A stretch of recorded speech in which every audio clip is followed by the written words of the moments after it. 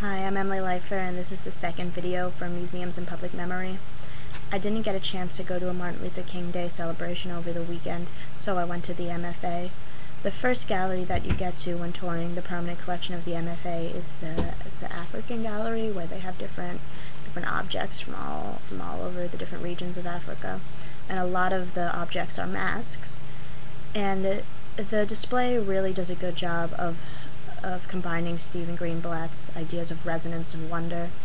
Um, the wonder is definitely kept intact by the way they are displayed, that is in glass cases on with an off-white background on off-white pedestals, just sort of seem to be floating so that you first you first notice them as as objects themselves and as their beauty or interest, textual, visual. But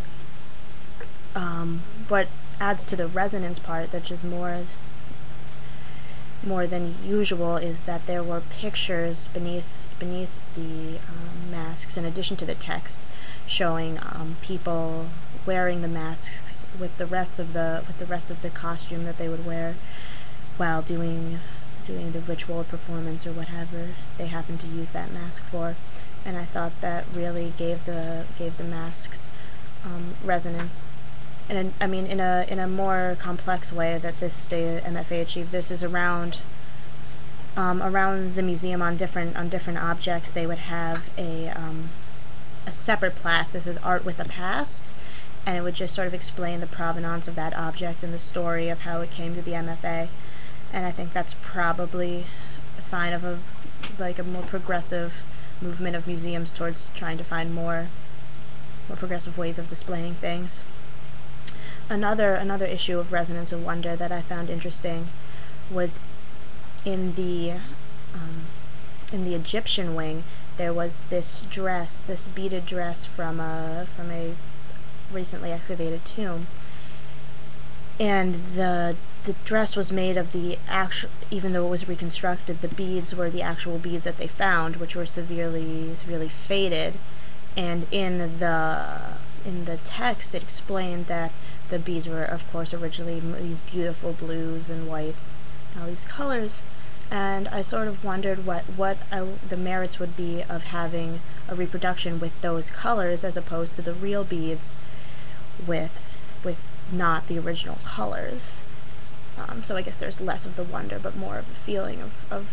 resonance that this this is a real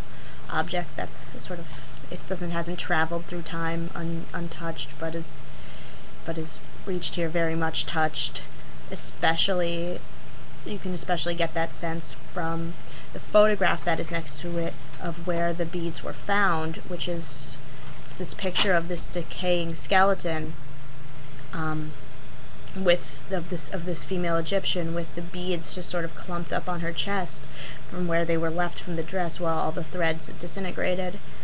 and I also thought that really gave the object a, a tangible history and really um, brought about uh, an identification with with the owner of, of that dress and that they were a real person who lived at a real time.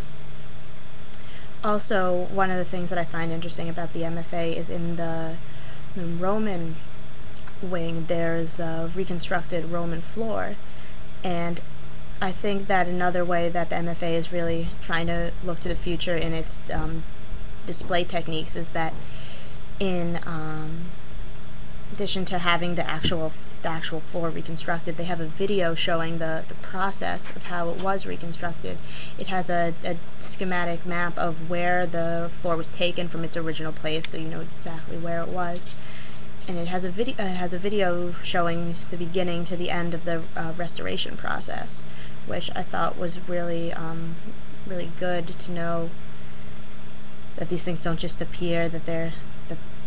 they were actually constructed to, from a certain way and they were taken from a specific place and moved to this new location.